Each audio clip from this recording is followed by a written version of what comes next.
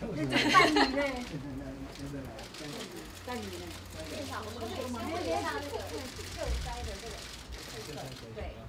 所以说这一次救灾，呃，会不会觉得说这个马政府在一些应变上面太低估了这一次的这个下雨，导致有一些救灾像是在放假的部分啊，那郝龙斌就抱怨说这个水利署的通知太慢，所以害他这个平板停的水库变得比较晚。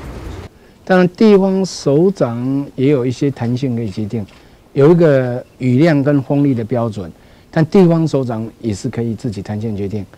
那我们就是希望这个首长哦，在决定的时候，第一个要快，而是以人民的安全跟方便为优先，而不是以自己的责任考量为优先。那这样的话，哎，就会效率好一点了，好不好？就如果要考虑说，哎，我我我这样会不会有责任啊？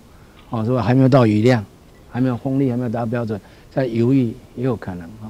我们也有这个经验，当然，啊，这个首长救灾都是很辛苦的哈。不过就是说，以人民为安全跟呃方便为优先的话哈，就不会发生这个事情啊。好，县长，县长，那个国台办呢，今天有回应你所提的，针对你有讲过说，民党跟共产党是无冤无仇嘛啊？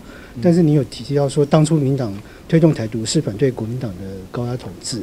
那国台办今天回应说，这个呃，国台办愿意跟台湾的各政党进行交流，但是如果这诶民党还是主张台独并坚持台独，就是给自己啊设下了跟中国交流的障碍，你怎么看？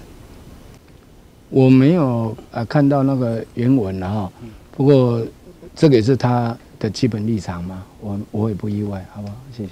院长，那你怎么看？就是说，院长，院长，我会不会再讲一下？就是说那个美牛啊，本来民党昨天是呼吁说要休会，但民国民党坚持要开会啦，就对。